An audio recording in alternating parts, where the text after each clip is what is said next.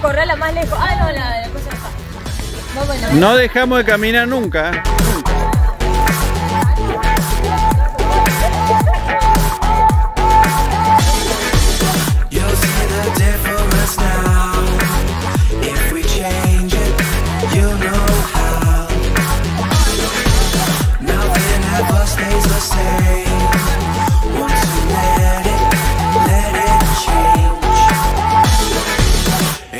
Like a family tree. Part of you and part of me.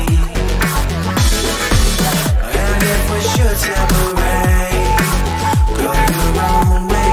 I won't wait.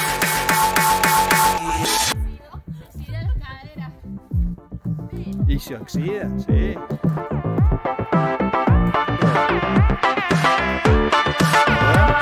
Eso, lo hacemos girar.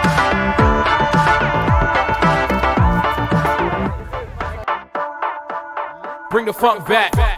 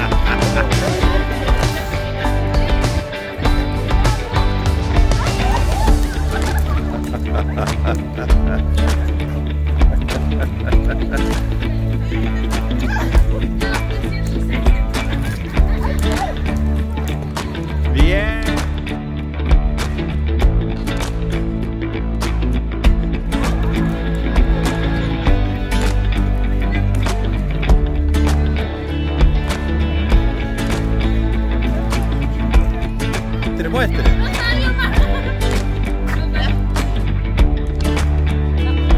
Bueno, a ver, intentamos sobre el cuello. Bien. Bueno, cuello y cadera. A ver, cuello y cadera. A ver, lo que salga primero.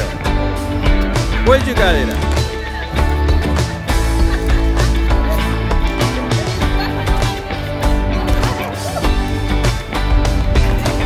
Hacemos bailar al aro, lo hacemos bailar.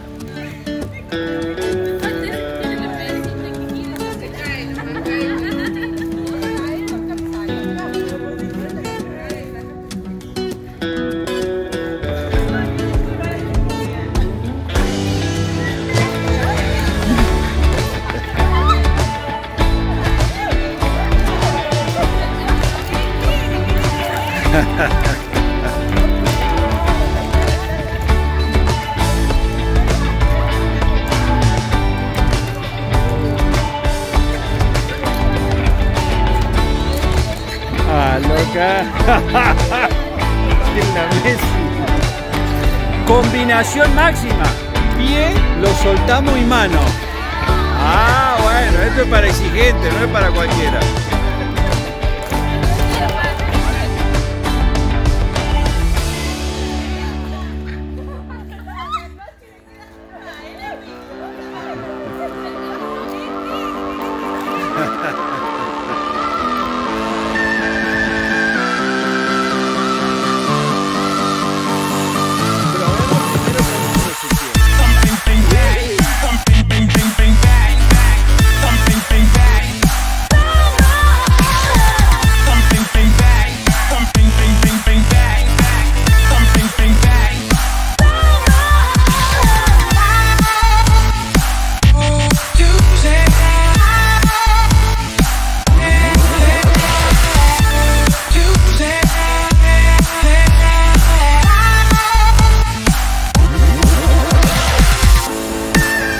Muy bien, muy bien. Bien,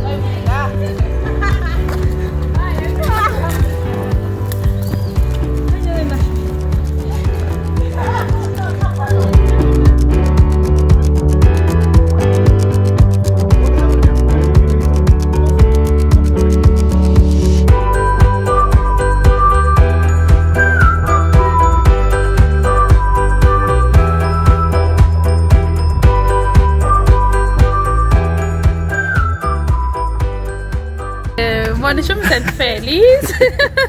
me gustaron todos los juegos y mm, me pareció súper importante el trabajo en equipo que pudimos lograr en algunos juegos. Y bueno, siempre la competencia sana que tenemos entre nosotros.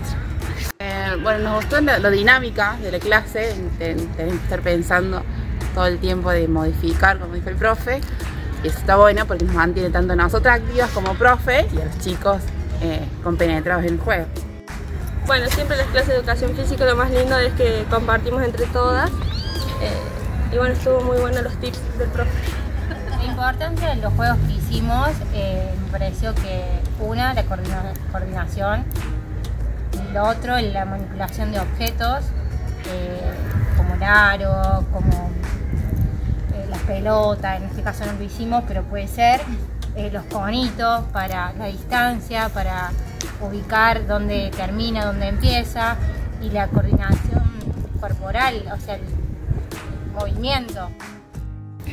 Bueno, me, parecieron lindos los juegos, también importantes por, por el hecho de que, de que el niño por ahí pueda moverse, también expresarse con el cuerpo y con los objetos. Y, y a la vez también el jugar con sus compañeros, y jugar todos juntos, el compartir también un rato de juegos. También los juegos me gustaron eh, y también la parte de la competencia que a niños también siempre les gusta. Eh, bueno, me parece que es importante el trabajo en equipo, eh, poder apreciar la expresión corporal del niño, eh, medir distancias, como decía la compañera. Creo que a todas nos pasa de que cuando nos ponemos a jugar eh, volvemos y recordamos por ahí los juegos de la infancia, eso está buenísimo, me parece como re importante. Y después la otra cosa que quiero destacar es el tema de ir poniendo variables didácticas en los, en los desafíos, eh, porque bueno, eso los incentiva un montón a, a los niños también a seguir y a querer seguir jugando, que no es siempre el mismo juego. Bueno, a mí como principal el hecho de poder jugar al aire libre, traerlo y a los chicos y hacer juegos al aire libre que está muy bueno para que eh, respiren otro aire y se conecten, digamos. Y otra de las cosas buenas de los juegos es poder eh, conectarlo con otra área. Conocer en cada juego, contar pasos, contar distancia, podemos relacionar con matemáticas. Entonces no solamente hacer ejercicios en pizarrón, sino eh, usarlos en otro tipo de, de actividad. Cómo se presentó la clase, ¿no? En un, en un primer momento presentamos el objeto, que en este caso fue el aro, jugar, que ellos descubran lo que es, eh, con todo, ya eh, sosteniéndolo, haciéndolo jugar con el cuerpo, ver qué puedo hacer con eso, ya sea con una pelota, con una soda, bueno, en este caso el aro, entonces la- le hicimos bailar con diferentes partes del cuerpo. Y después de eso empezar a hacer como juegos. Entonces vos ya conocés y ya podés hacer juegos. Eso está bueno, presentarlo así en secuencia. You'll see the difference now. you know.